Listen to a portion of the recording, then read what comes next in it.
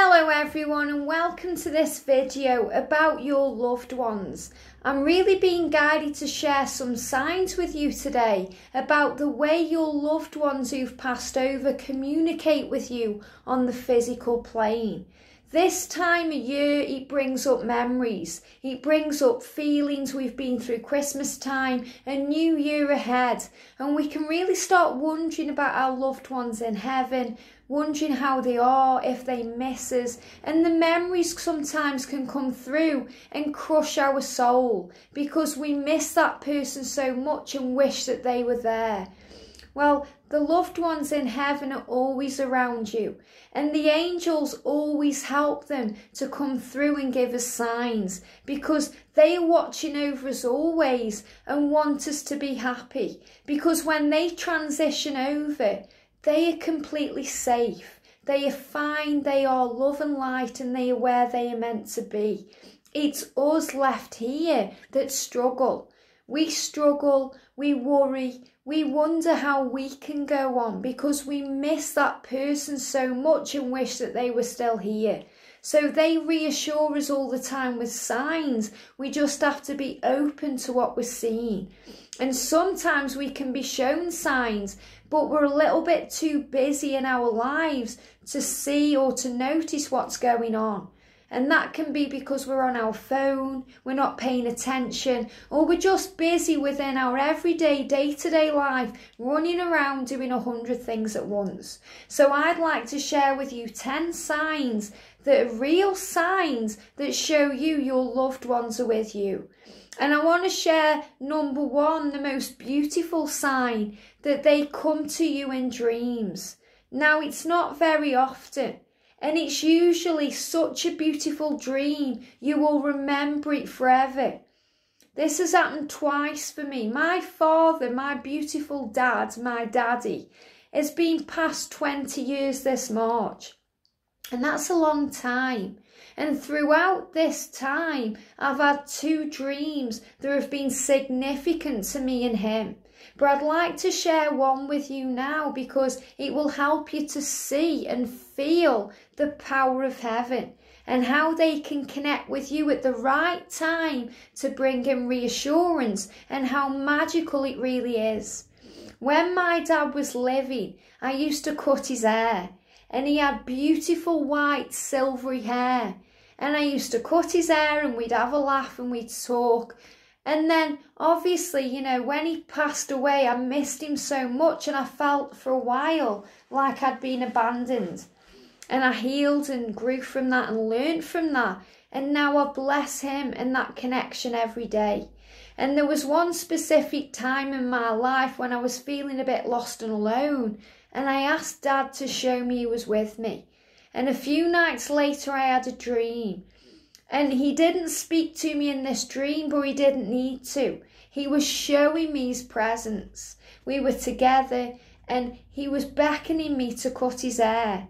I sat on his knee, passed me the pair of scissors, and I got up and I cut his hair, and it was a beautiful dream. And I dreamt that I was cutting his hair, and then it ended it. We didn't speak, we just shared that that connection. And then the next day in the physical and reality, I was finding white silvery hairs all over my clothes all that day. And that was a huge sign that that wasn't a dream. That was a physical representation of our connection. It was my dad telling me that I am safe, you know, that I can trust him, that he is with me, and that there's nothing to fear. And your loved one will come to you in dreams if you open your heart. And you can ask Archangel Raphael, the healing angel, and Archangel Azrael, the comforter of human souls, to bring your loved ones through in a very calm way. And that way will be in a dream. So if you've had a dream about a loved one and you felt that energy, that's a sign from heaven, sign number one, that your loved one is with you. Sign number two is feathers. They will shower you with feathers and it will happen in unusual ways at unusual times. Have you heard about feathers coming down in a place where there are no birds? where there could be no physical way it could get there. My beautiful mum received a feather in her living room on the carpet. There's no physical way that feather could have got in the house, but it got there. The angels will work magic for you. And if you're missing a loved one, if you're wanting to know that they are there, then they will work with the angels to bring feathers in. Because your loved ones are like angels. And they will guide you and be a comfort to you and guide you and show you the way. So just like angels, they can show you feathers and they will land where you are to let you know that they are near. So whenever you see a feather, and it may be a significant colour, it may mean something to you. If you're thinking about a loved one at that moment, that's a sign from them that they are with you and you're okay.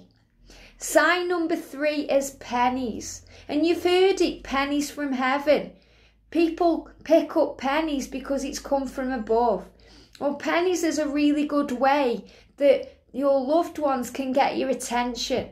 If you start seeing pennies, coins, anything specific of any kind, that's a sign from your loved one that they are with you and they are dropping signs that you are protected and that you are supported financially and the universe has got your back. So if you start finding coins, especially pennies, these really are pennies from heaven and your loved ones are dropping them around you to let you know that you are safe, supported, and that there's no need to worry about anything in your life, and that they are with you every step of the way. Sign number four is birds. Birds. Birds are like messengers. Now, angels are messengers of heaven, but birds are messengers of the divine. They connect with heaven on a daily basis to allow you to shine so that they can show you that your loved ones are with you. And this can be birds, birds of peace, birds that have special meaning to you, especially if a loved one had birds or loved a specific bird, that will be shown to you. And that takes me on to sign five, which is robins.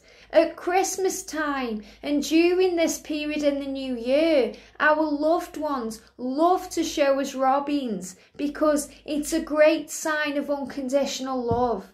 It's a great sign of the connection because robins have a red breast, and that's like the blood connection between you and your loved one. Even if this isn't a blood connection, it's the feeling of the love. The love is real, and the red breast signifies that love. And the angels will bring robins through to you to show you your loved one is thinking of you and feeling of you. And this happens to me at Christmas time and to my mum. You know, we see robins on Christmas Day, and that's a sign that we are watched over by loved ones. So next time you're out and about, if you see a robin, just stop and think who's communicating with you at that moment? Who wants you to know that they are there because you are loved and special? So beautiful. Sign number six is songs. And you know, the universe is always communicating with us through music. We hear music telepathically between our friends, our family, loved ones, beloved.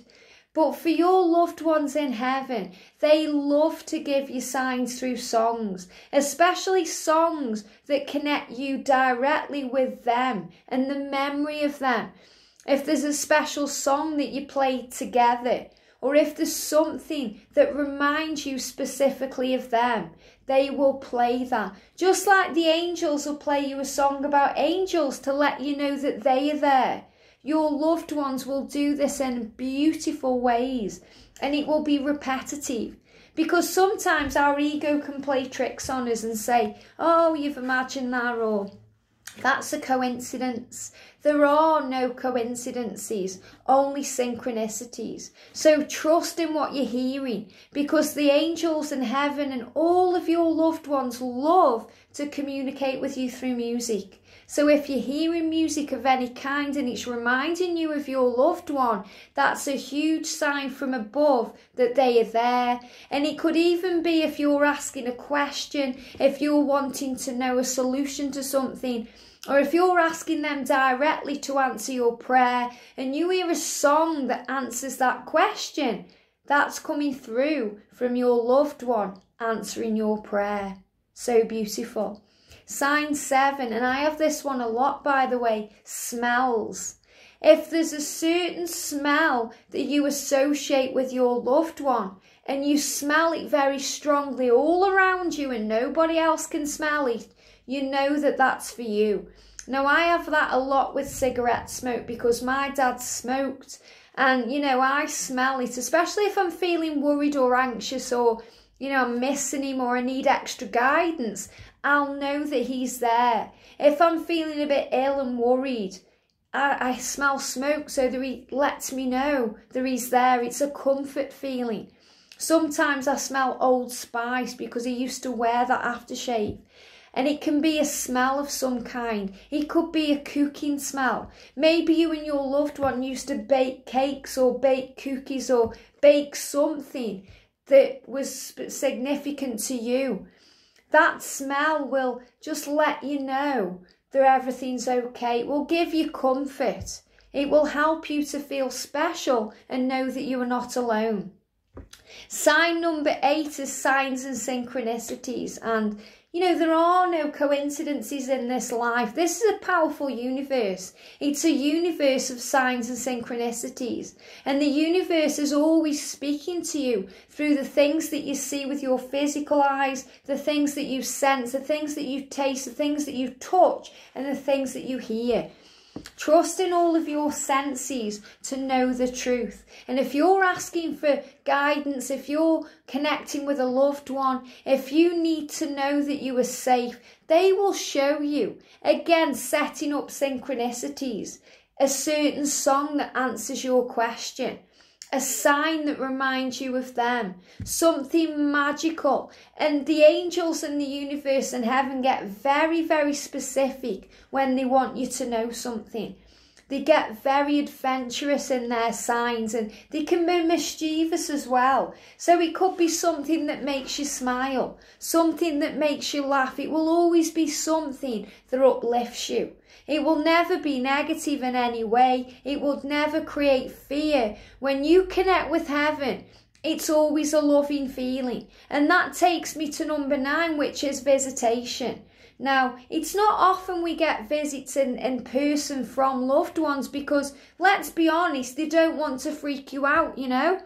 And I remember when I saw my dad in the chapel of rest, I said to him, Come to me anytime, you know, I don't care if you scare me. But I know in physical truth, if he just popped up in front of me, it would scare me, you know? Not him, but the whole feeling of it. And it's different if you're clairvoyant because you're used to that. But, you know, for the everyday person, if a spirit just popped up in front of you, no matter how close you were to them in real life, it would scare you a little bit. So it's very rare that, you know, loved ones will just pop up and visit you and like that. It would happen gradually. You would see them in a dream or they would come and visit you in a daydream. And this happened to my mum when it was about six months or so after my dad passed away. He visited her, and she said it was like she was in a trance like state. She was in between sleep and awakeness. And she said the door just kind of lit up in a bedroom and it was all beautiful white. And then my dad walked in and he was radiant how he was in his youth. And he sat on the bed and she said to him, where have you been? And he said, I've been exploring the world. I've been finding things out. I've been on an adventure. And in that moment, she knew with full faith that she was safe and that he was okay. So you'll get signs in magical ways, visits. The angels will show you that you are safe. And the angels will watch over all of these visitations so that you feel peace, comfort, and love. They would never appear like you see it in the horror films. They would not never just, you know, bang on the door and scare you. There would never be any rattling chains or, you know, anything like that going on. That's Hollywood hogwash. The truth is that your loved ones love you and your well being is more important than anything else. So they watch over you and keep you safe. And number 10 is your feelings, the way you feel. If you feel that they are with you, then they are. If you can feel that you are comforted, then you are. The way you feel is everything. You are source energy. You are powerful. You are dynamic. And you are connected with heaven in every moment of every day. Sometimes we don't tune into that because we're not seeing the bigger picture but we're always connected and you will always feel how you're meant to feel. So if you're something's happening to you, and maybe if you're in danger or you know, maybe if you're feeling a bit nervous, you'll get a gut instinct about what you need to do. And most of the time, that's angels or your loved ones guiding you by the way you feel. So trust in the way you feel always. It's a great sign that you are loved and supported from heaven. So I hope you've enjoyed this. I just wanted to give you 10 beautiful ways your loved ones and the angels show you that they are with you, comforting you, showing you that, you know, we're all energy, we're all one. There is no end, there is no beginning. It's all energy. So trust that you are loved and supported and that you are safe and that your loved ones are with you right now. If, if you want to connect more with your loved ones, ask the amazing Archangel Azrael to help you connect with them. And they will give you signs. You don't have to be a medium. You don't have to go and see a psychic. You're a medium and a psychic anyway. So tune in with heaven and know that you are loved. If you've liked this video, give me a thumbs up, subscribe if you're new to the channel and join our family. We are here for you every day, bringing in love, light, peace and harmony. Have a beautiful day and I'll see you soon.